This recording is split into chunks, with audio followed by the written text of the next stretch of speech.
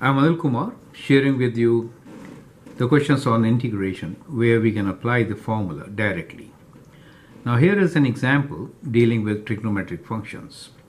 In most trigonometric functions, you have to apply the identities, simplify the function, and then it is easier to integrate. So now we'll integrate cos 4x cos 7x. Now to do this, I hope you remember a formula which is cos a plus b.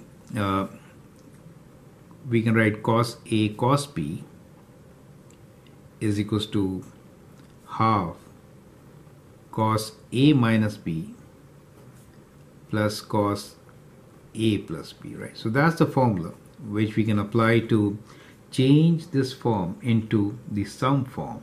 So once we have the sum form, it is kind of easier to solve such questions, right? So applying the formula, we can write the integral as integral of half cos a plus b could be cos 4x plus 7x. I should have written minus, but it's the same thing. You could change the order.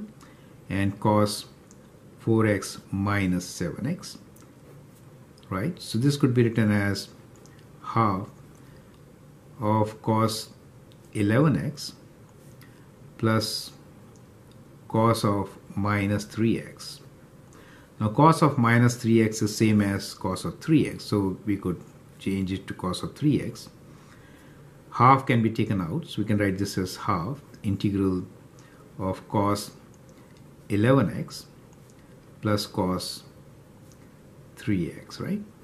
Well, dx, correct. Uh, here we know cos of minus theta, I mean cos of theta and cos of minus theta same, right? So now we can find the integral of these. So we have half integral of cos of 11x will be sine 11x divided by 11 plus that of 3x will be sine 3x divided by 3 right plus c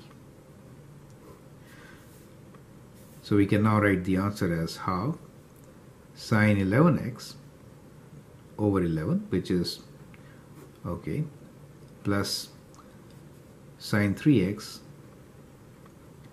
over 2 times 3 is 6 plus c. Or finally we can write this as sine 11x divided by 22 plus sine 3x divided by 6 plus c, right? So that is how we can do integration of product of cosine functions. Now whenever you have product of cosine functions, you could use this formula to convert product to sum and difference, right? So that is the formula which is to be applied. I'm Anil Kumar and I hope that helps. Thank you and all the best.